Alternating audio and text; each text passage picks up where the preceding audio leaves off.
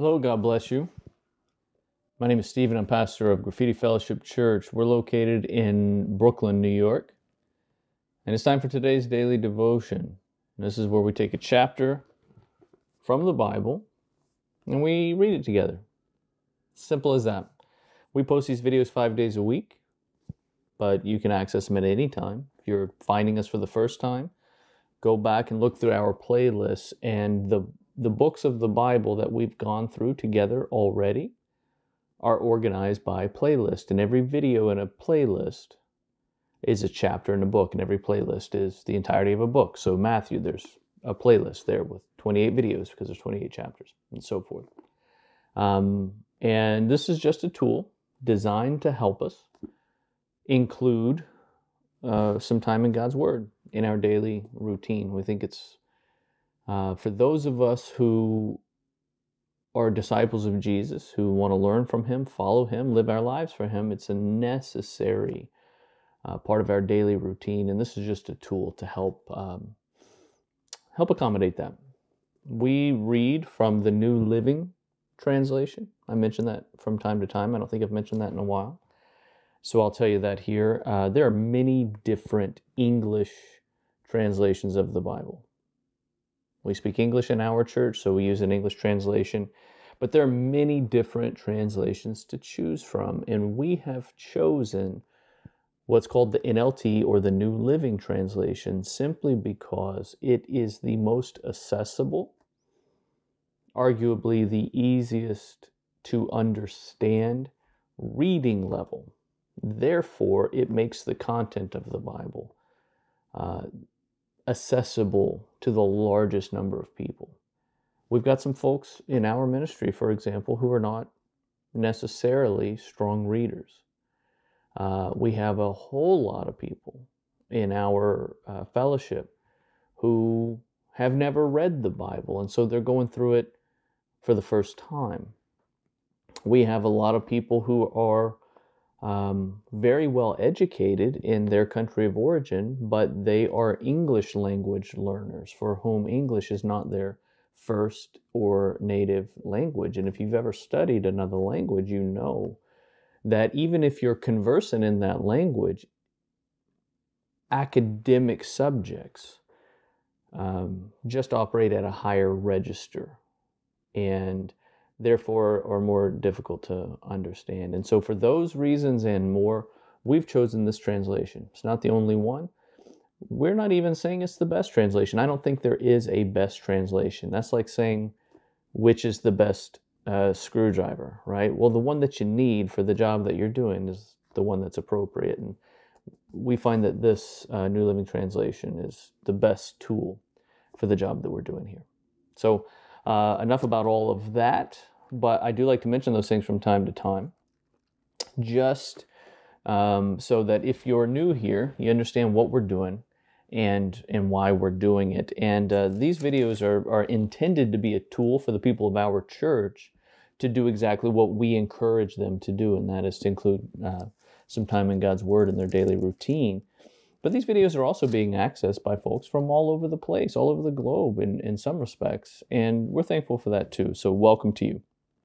We're reading the Gospel of Luke in this particular series of videos. And we are very close to the end. We're at the next to last chapter of Luke's Gospel. So, today we're going to read Luke chapter 23. And uh, then the final chapter will be the subsequent chapter, Luke chapter 24. Luke chapter 22, which we read last time, is uh, very long, over 70 verses. Luke chapter 23 is also long, but not nearly as long as Luke 22. This chapter has 56 verses. Uh, we saw in Luke chapter 2 Jesus' betrayal. We saw Judas Iscariot scheming under the uh, influence of Satan. The Bible's very clear about that. Uh, we see Jesus at the Last Supper, that Passover meal with his disciples. We see the uh, installation and the commemoration, not commemoration, but, but certainly the um, inauguration of the ordinance, the sacrament of the Holy Communion, as Jesus himself was the first one to take that bread and take the cup and say, These represent my body and blood, which are given as a sacrifice for you. So do this to remember me. Uh, we saw Jesus arrested. We saw him before the council, which is comprised of the Sadducees and the Pharisees. We saw this mock trial. They've arrived at a foregone conclusion. It's what we would call a kangaroo court. They've they know that their their job is to find him guilty, so now they just need to figure out how to do that, and so they've done that. Uh, we also see in the midst of all that Peter's denial of Jesus, which Jesus prophesied. And so now in 23, our subsections are, looks like there's four of them. We see Jesus' trial before Pilate. Jesus had a had a something of a trial in the academic sense at least, before the Jewish council, the Pharisees and the Sadducees. But their pronouncement, their desire is for an execution. And the Jews are under the rule of the Roman authorities at this time. And they are not permitted to carry out a capital punishment, a capital sentence, uh, without Roman approval. So Jesus has been found guilty by the Jewish leaders. Now he has to also go to the Roman leadership and for them to uh, authorize or deny the sentence that the Jewish leadership have um, have pronounced against Jesus. Okay, so the Jews were to some degree allowed to govern themselves, but at a certain level, at a certain severity, they had to get uh, things approved by the Roman authorities. So that's where we begin. Then we will see the crucifixion of Jesus, the death of Jesus, and the burial of Jesus. And that will take us through Luke chapter 23. So let's read beginning in verse 1. Again, this is Jesus' trial before Pilate. Pilate was the Roman uh, official, the Roman governor. It says, Then the entire council, those are those Jewish leaders, took Jesus to Pilate, the Roman governor. They began to state their case. This man has been leading our people astray by telling them not to pay their taxes to the Roman government, by claiming he is the Messiah, a king. So Pilate asked him, Are you the king of the Jews? Jesus replied, You've said it. Pilate turned to the leading priests and to the crowd and said, I find nothing wrong with this man. And then they became insistent. But he's causing riots by teaching wherever he goes, all over Jerusalem, from or all over uh, uh, Judea, from Galilee to Jerusalem. Oh, is he a Galilean? Pilate asked. When they said that he was, Pilate sent him to Herod Antipas because Galilee was under Herod's jurisdiction, and Herod happened to be in Jerusalem at the time. So he's kind of passing the buck because this is a politically sensitive matter. Herod was delighted at the opportunity to see Jesus because he had heard about him and had been hoping for a long time to see him perform a miracle. He asked Jesus question after question, but Jesus refused to answer. And meanwhile, the leading priests and teachers of religious law stood there shouting their accusations. Then Herod and his soldiers began mocking and ridiculing Jesus, and finally they put a royal robe on him and sent him back to Pilate. Herod and Pilate, who had been enemies before, became friends that day. Then Pilate called together the leading priests and the other religious leaders, along with the people, and he announced his verdict You brought this man to me, accusing him of leading a revolt. I've examined him thoroughly on this point in your presence, and I find him innocent. Herod came to the same conclusion and sent him back to us. Nothing this man has done calls for the death penalty, so I'll have him flogged, and then I will release him. Then a mighty roar rose from the crowd, and with one voice they shouted, Kill him and release Barabbas to us. Barabbas was in prison for taking part in an insurrection in Jerusalem against the government and for murder. Pilate argued with them because he wanted to release Jesus, but they kept shouting, Crucify him! Crucify him! For the third time he demanded, Why? What crime has he committed? I've found no reason to sentence him to death. I'll have him flogged, but then I'll release him. But the mob shouted louder and louder, demanding that Jesus be crucified, and their voices prevailed. So Pilate sentenced Jesus to die as they demanded. Other translations uh, in this exchange say that the crowd shouted, that if you don't crucify this man, you're no friend of Caesar's. They're playing politics.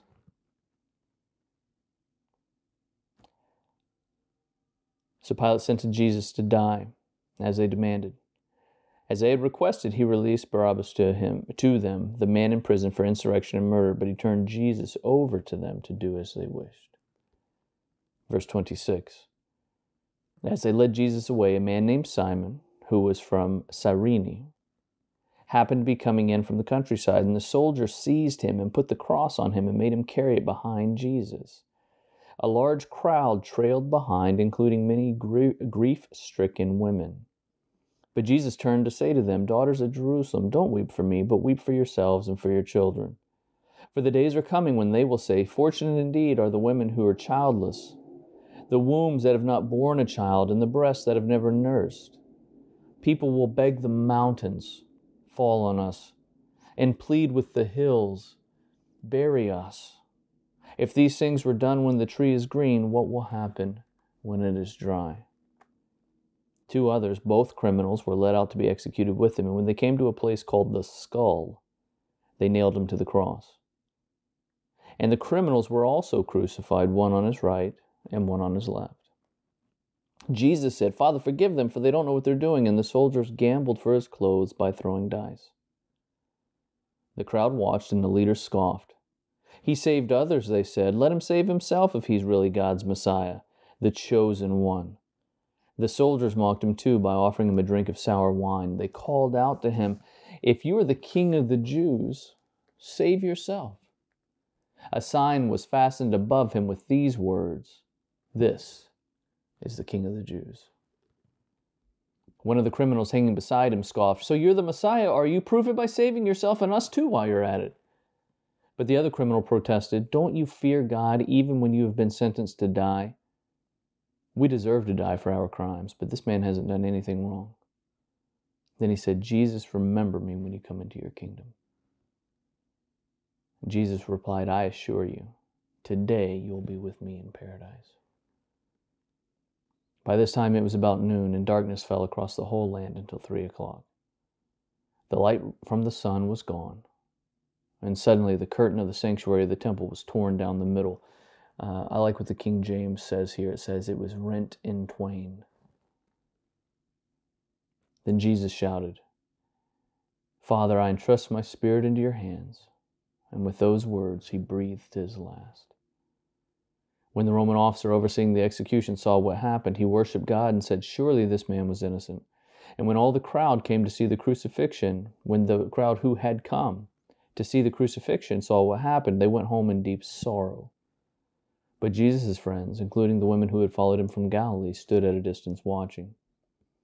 Now there was a good and righteous man named Joseph, and he was a member of the Jewish high council but he had not agreed with the decision and actions of the other religious leaders. He was from the town of Arimathea in Judea, and he was waiting for the kingdom of God to come. He went to Pilate and asked for Jesus' body, and then he took the body down from the cross, wrapped it in a long sheet of linen cloth, and laid it in a new tomb that had been carved out of rock. This was done late on Friday afternoon, the day of preparation, as the Sabbath was about to begin. As his body was taken away, the women from Galilee followed, and they saw the tomb where his body was placed. Then they went home and prepared spices and ointments to anoint his body, but by the time they were finished, the Sabbath had begun.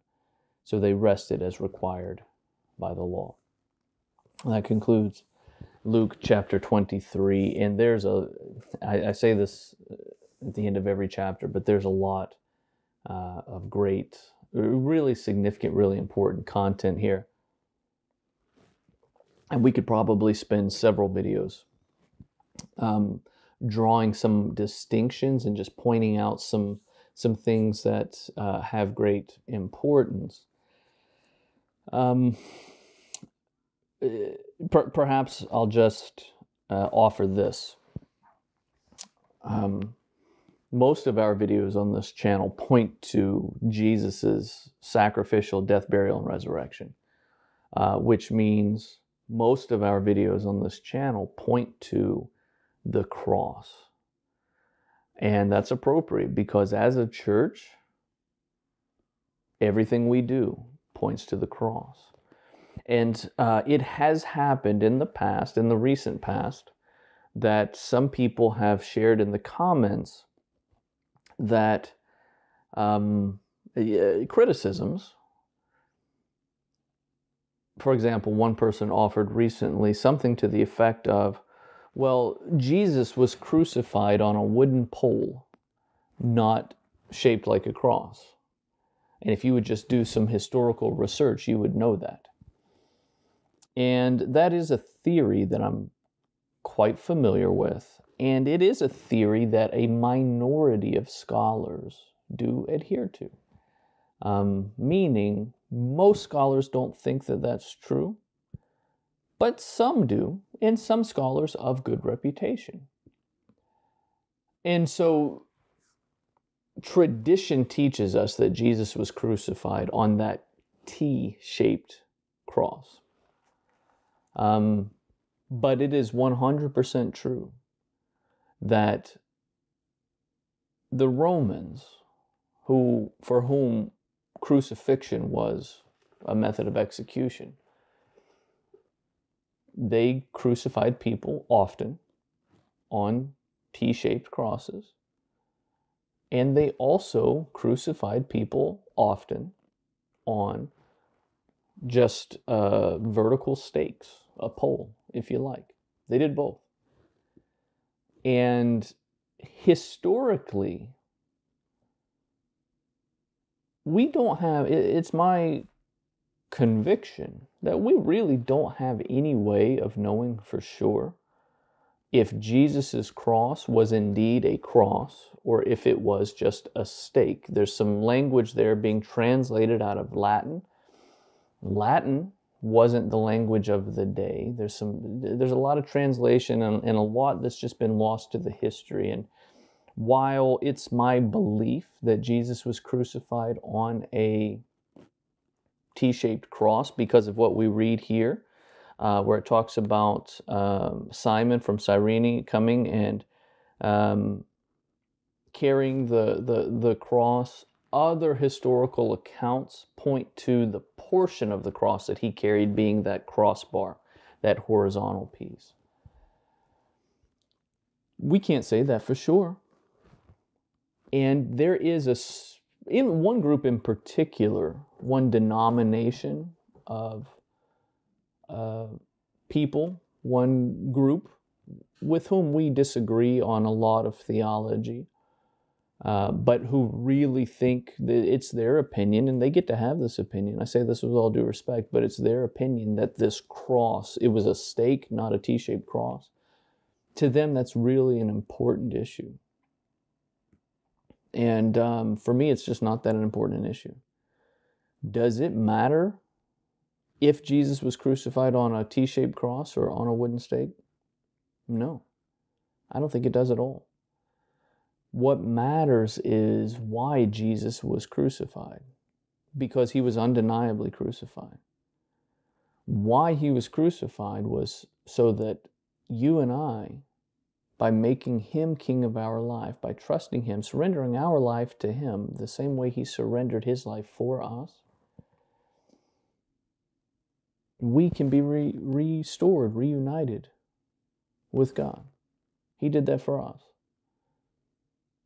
And to accomplish that, he was crucified. The shape of the wood doesn't matter at all. The undeniable truth, even atheists, scholars, cannot deny that the man, Jesus, was put to death by crucifixion. And it is a horrible, horrific way to die. Crucifix, the word excruciating it just it means like it's so painful we don't have words for it. That word means out of the cross. Excruciating means out of the cross. So Jesus' death, his sacrificial death for us, was so painful. They had to invent a new word to describe it. That's what matters. That he did it willingly. He laid down his life, it wasn't taken from him. He did it sacrificially in my place and in your place. That matters. The shape of the wood doesn't matter at all. It's understanding why he did it. It's, it's believing, knowing the truth that he did, understanding why, in allowing that to change the way we live our lives. That's what matters. And so, if you're wondering about the shape of the cross, I believe it was a T shaped cross. I can't say that for, with certainty. Um, that T shape is certainly more recognizable in the symbolism that we use to honor Jesus' sacrifice. But if it was a wooden stake, it matters not in the least. The fact that God sent his son to earth to live a sinless life, to die a death he didn't deserve, to redeem sinners like me and like you, that's what matters. That's what we've just read about in Luke chapter 23. And thanks be to God, when we read Luke chapter 24, the conclusion of Luke's gospel, we're going to see that that horrific, excruciating death wasn't the end. It was just the beginning, because we're going to see Jesus raised again to life in victory over sin and death and darkness. And he's going to establish his church so that his people can once again live a life close to God and under his protection. That's what matters. And I hope you have that kind of relationship with Jesus. Uh, if not, stick with us. We're going to keep reading his word. And uh, I just, I believe you're going to get to a point where you fall in love with him like, like we have. Thanks for being here. Thanks for participating in this video. God bless you.